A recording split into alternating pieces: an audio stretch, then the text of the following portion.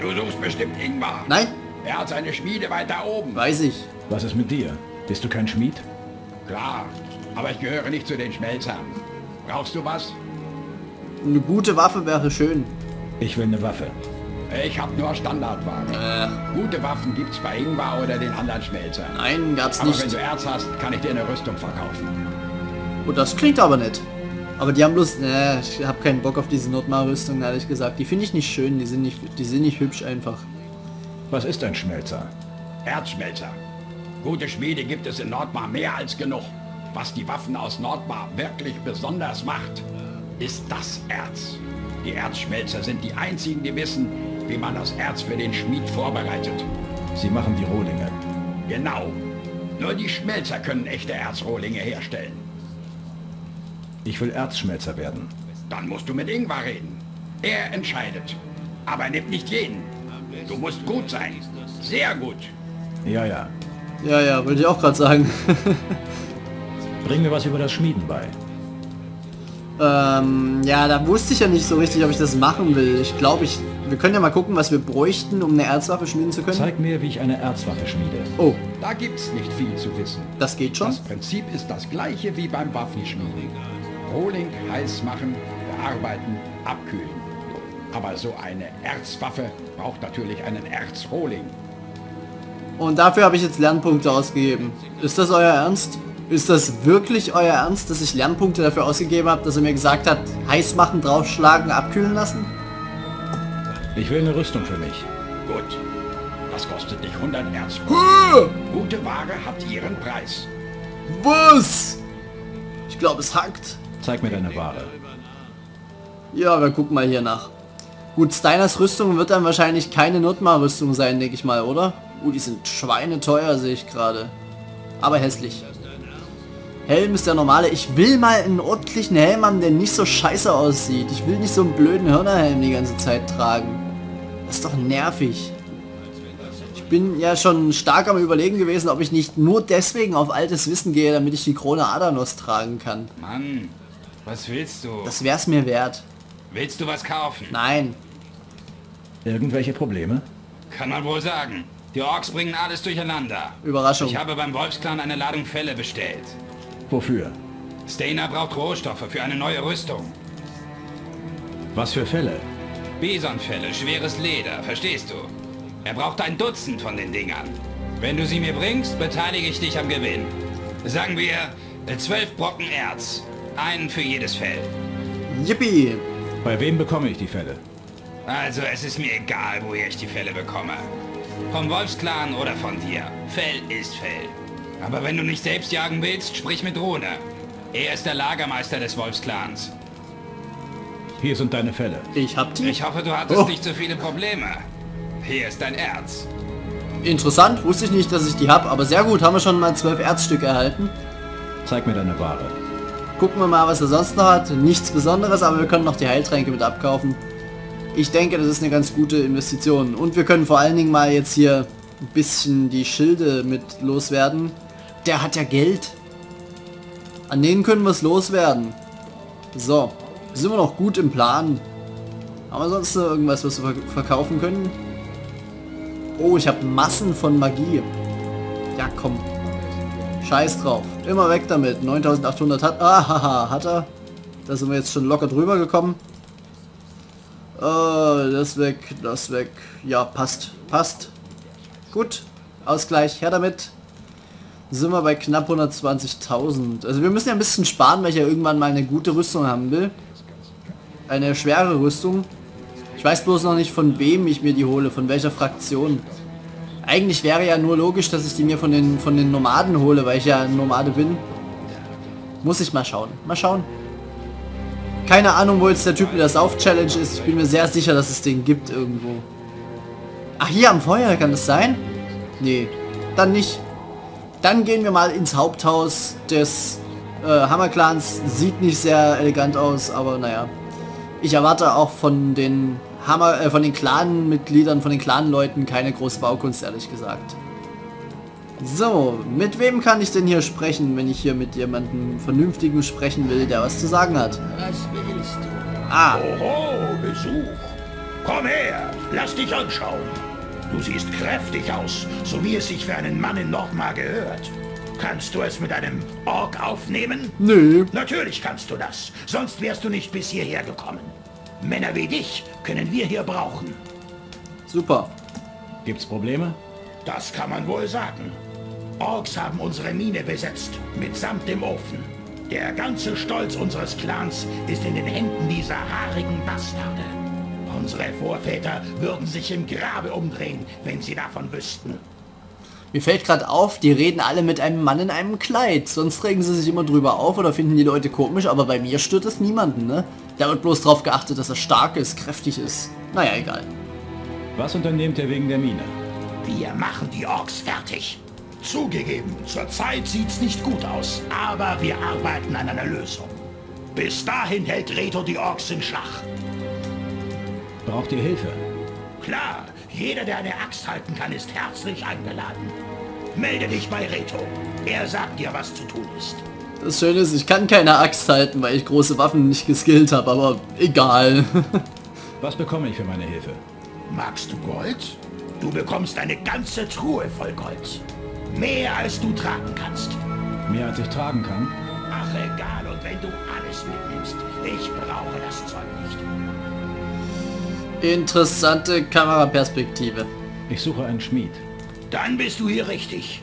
Auch wenn die Orks unseren Ofen haben, ist Ingvar der Erdschmelzer immer noch ein Meister seines Fachs.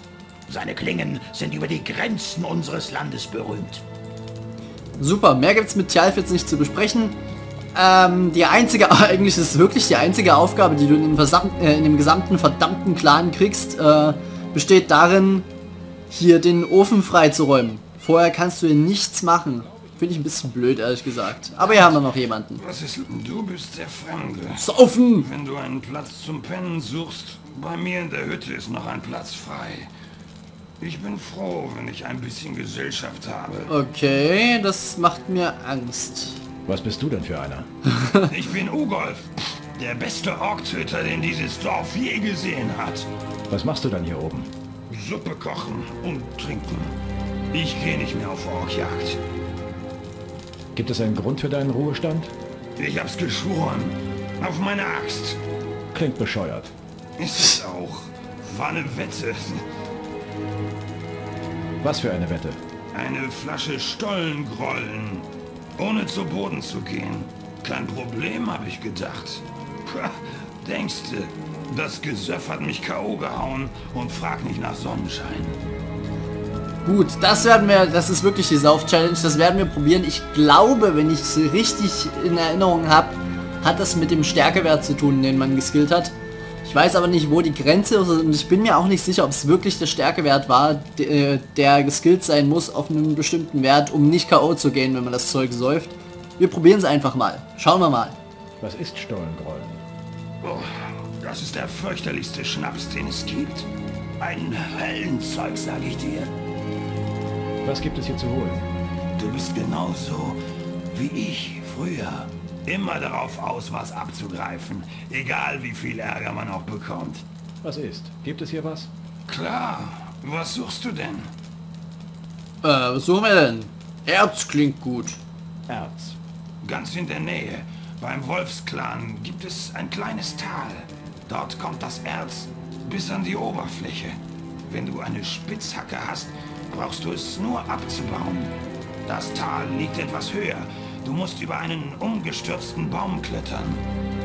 Das Tal liegt etwas höher. Hm, naja, gut. Wenn du meinst...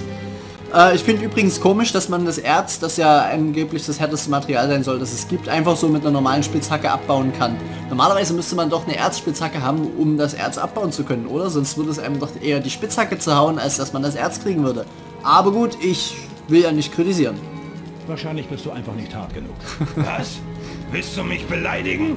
Wer keinen Schnaps verträgt, hat da draußen noch nichts zu suchen. Jetzt reicht's. Hast du schon mal einen Stollengrollen getrunken? Wenn du es schaffst, das Zeug runterzukriegen und stehen zu bleiben, gehe ich mit dir da raus. Schön. Die Wette gilt. Okay, wir gucken erstmal, was er sonst noch hat. Kannst du mir was beibringen? Hey, ich bin dein Mann. Keiner von den Typen hier kann mir das Wasser reichen, wenn es darum geht, einem Ork den Schädel zu spalten. Für 50 Erz zeige ich dir, wie es geht. Nein, ich glaube nicht. Gib mir einen Stollengrollen. Meinst du, ich bewahre dieses Zeug in meinem Haus auf? Viel zu gefährlich. Wir brauen es dir zusammen. Dazu brauche ich noch ein bisschen Kram. Was? Hier. Toll. Super. Große Klasse. Das habe ich mir anders vorgestellt. Na gut, schauen wir mal. Äh, wo muss ich denn hin? Wo habe ich das denn? Hiermit? Ja, glaub schon. Zutatenliste. Ah, das, das, 20 Schnapsbeeren, 2 Brocken Erz, 2 Minecrawler-Zange. Was? Was ist das denn für eine Brühe? Ich glaube, an den Schnapsbeeren hapert's. Oder? Kann das sein? Schnapsbeere. Ja, haben wir sieben Stück. Den Rest könnten wir eigentlich komplett haben, würde ich denken. Also die zwei Erzbrocken sollten wir auf jeden Fall haben. Den Rest... Ja, oh Gott, wir haben ja richtig viel magisch... Ah nee, ich habe noch eine 1 davor gesehen, aber es sind bloß 14. Haben wir auf jeden Fall. Minecrawler Zangen könnten wir verkauft haben. ich glaube, die haben wir nicht mehr. Nee, ich glaube... Nee, nee, nee. Nee. Ich glaube, Minecrawler-Zangen, wenn wir jemals welche hatten, dann haben wir die wieder verkauft. Die werden wir nicht in unserem Besitz haben. Na gut, was soll's. Lassen wir das also. Mir fällt gerade ein, ich wollte hier unbedingt nach einem Teleportstein suchen. Ich habe aber keine Ahnung, wo es den hier geben könnte. Gut, haben wir das also auch jetzt noch offen. Ich muss jetzt mal unbedingt nach dem Teleportstein suchen, denn ich wollte ja erstmal einen Teleportstein von einem der Clans haben um mich dann mal direkt runter nach äh, Dingens hier, nach Lago teleportieren zu können, um bei Sibo und Arad meinen Quest abzuschließen. Ha! Problem gelöst. So, da würde ich sagen, ähm, Magie, Magie. So. Und jetzt, was ist das denn? Thronsaal. Nee, das wollte ich nicht haben. Äh, Judim, Ardea, äh, wo muss ich denn? Moment. Wir brauchen, wir brauchen, wir brauchen, wir brauchen. Wie sieht denn das aus? Ich hab's vergessen. Könnte es das hier? Braga, Ben Sala, Ben Erai, Bakeresh, Faring. Na, sag mal. Irgendwo muss es damit Geldern, Cartoon, Montera, Mosul, Nemora. Kann es sein, dass wir gar keinen haben für Dingens? Silben, Redder, Kokara? Nee, wir haben keinen für Lago. Gibt es denn überhaupt einen für Lago? Müssen wir halt nach Benerei gehen. Ab geht's. Das könnte jetzt etwas dauern übrigens. Oh, Verzeihung. Für den Krach. Äh, Grundregeln des Teleports. Je weiter die Reise mit dem Teleport ist, desto länger ist die Ladezeit dabei. Denn es muss ja eine komplett neue Welt geladen werden, wenn man so will. Die Umgebung ist eine komplett andere und es ist wirklich so, je weiter das Ganze entfernt ist, desto länger dauert das. Ich weiß nicht, wie genau das äh, konzipiert ist, wie das aufgebaut ist. Aber da wir jetzt von einem, anderen, von einem Ende der Welt zum anderen uns begeben mit dem Teleport, dauert das wirklich, glaube ich, eine ganze Weile. Naja. Oh ne, ging relativ schnell. Ich bin erstaunt.